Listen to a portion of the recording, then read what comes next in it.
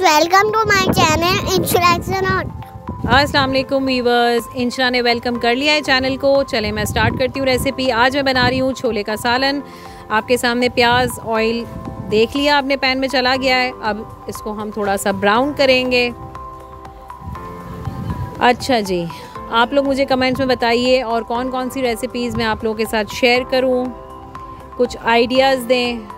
और मेरे चैनल को लाइक करें, सब्सक्राइब करें और शेयर करें। शेयर आप लोग नहीं करते हैं, आते हैं देख कर चले जाते हैं और लाइक भी नहीं करते हैं।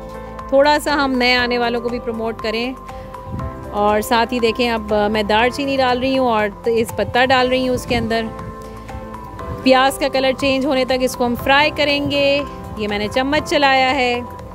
फ्राई होने तक इंतज़ार करेंगे आप लोग भी और मैं भी। अच्छा जी अब अगली क्लिप में हम क्या देखेंगे? प्याज अपने टाइम पर ही होगी। आपके और मेरे इंतज़ार करने से जल्दी तो नहीं होगी। खैर दूसरी बातें करते हैं। जब तक प्याज होती है। अच्छा वेकेशंस में बच्चों की जब छुट्टियाँ होती हैं अच्छा ये मैंने साथ में गोल लाल मिर्चें डाल दी हैं। अच्छा बच्चों की छुट्टियाँ जब होती हैं तो हम सोच रहे होते हैं कि यार कुछ ऐसा पक जाए जो कि झटपट हो। देखिए ये चीज़ फटाफट बन जाएगी। अभी मैंने आ, काला ज़ीरा इसके अंदर डाल दिया है थोड़ा सा। बॉयल अगर चने आपके पास रखे हुए हैं तो ये फटाफट उनको डीफ्रॉस्ट किया और ये फटाफट बन जाते हैं। अच्छा ये नॉर्मल ज़ीरा डाल रही हूँ मैं। गोल लाल मिर्चें, काला ज़ीरा और ये नॉर्मल वाला ज़ीरा। ठीक है जी, अब तीनों, चारों चीज़ों को अच्छे से हम तेल में फ्राई करेंगे। कलर चेंज होगा, खुशबू अच्छी सी आने लगेगी। फिर हम नेक्स्ट प्रोसीजर पे जाएँगे अपने।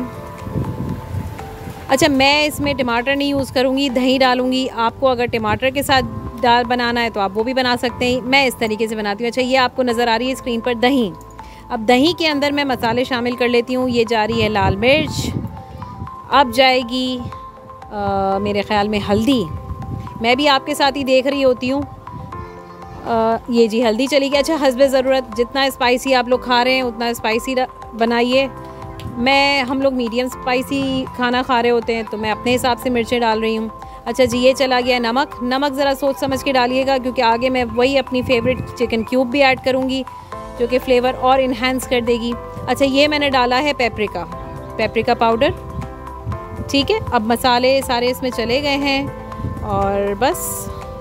अच्छा ये भुना हुआ कुटा हुआ धनिया है। ज़ीरा नहीं है इस बार, सिर्फ़ धनिया है, क्योंकि ज़ीरा हम लोगों ने फ़र्स्ट डाल दिया है। अच्छा ये गया थोड़ा सा गरम मसाला।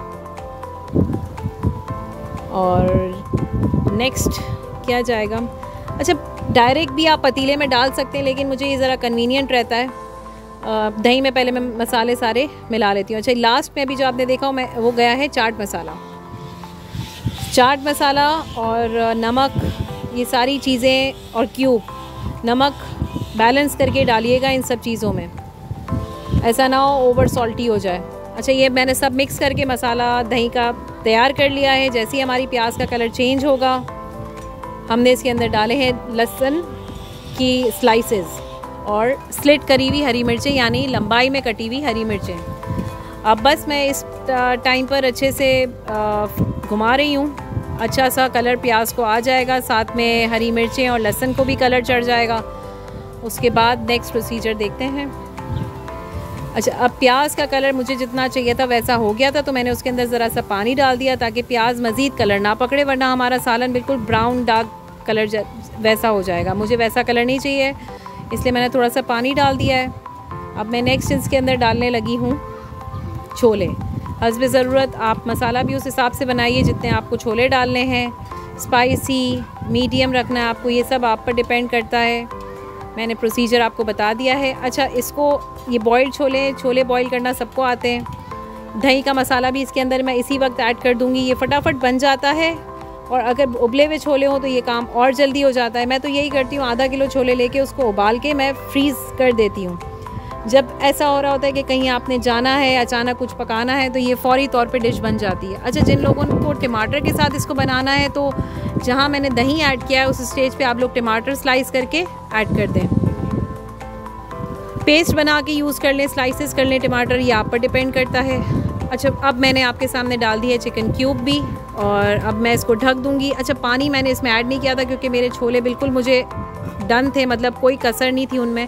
और जितनी आपने ग्रेवी रखनी है, जितना गाढ़ा इसको रखना है, उतना आप रख लीजिएगा।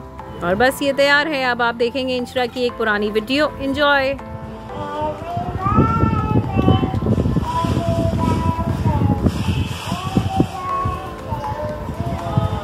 ओके अल्लाह हाफिज़